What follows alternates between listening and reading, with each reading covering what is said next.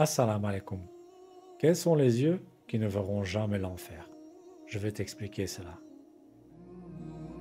Bismillah ar-Rahman ar-Rahim. Abdullah ibn Shaqiq, que Allah soit satisfait de lui, raconta Je suis entré dans une pièce où le prophète sallallahu alayhi priait, et j'ai entendu un son émanant de sa poitrine, semblable au bouillonnement d'un pot sur le feu. Il pleurait et sanglotait. Pourquoi? Parce qu'en se remémorant Allah, en méditant sur sa grandeur et en réalisant que toute cette création ne représente rien en comparaison à lui, et que nous sommes insignifiants face à lui, cela le touchait profondément.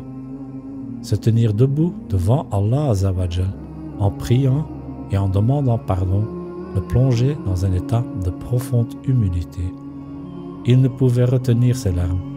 De même, quand nous implorons le pardon de Allah, lorsque nous sommes prosternés ou lorsque nous formulons des invocations sincères, cela peut nous émouvoir jusqu'au plus profond de notre être.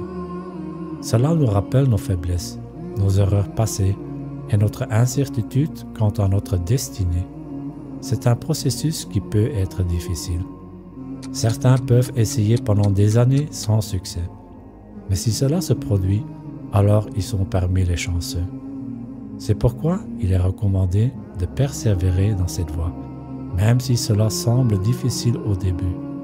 Si nous faisons cet effort, si nous essayons de simuler cette crainte d'Allah pendant un certain temps, alors Allah peut nous accorder sa grâce et nous transformer jusqu'à ce que notre crainte devienne sincère. Et quelle est la récompense de ces larmes? Le prophète sallallahu a dit qu'il y a deux yeux qui ne verront pas l'enfer. Celui qui se souvient d'Allah subhanahu wa ta'ala et pleure de crainte devant lui. Cela signifie que ces larmes sont une assurance que nous n'entrerons pas en enfer et que nous serons accueillis au paradis par la grâce d'Allah Azawajal. Alors oui, si nous pouvons faire cet effort, si nous pouvons simuler cette crainte d'Allah et prétendre que nos larmes sont versées par amour et respect envers lui, alors graduellement, cette crainte deviendra sincère. Merci d'avoir regardé et n'oublie pas, abonne-toi et à la prochaine fois, Inch'Allah. Assalamu alaikum wa rahmatullahi wa barakatuh.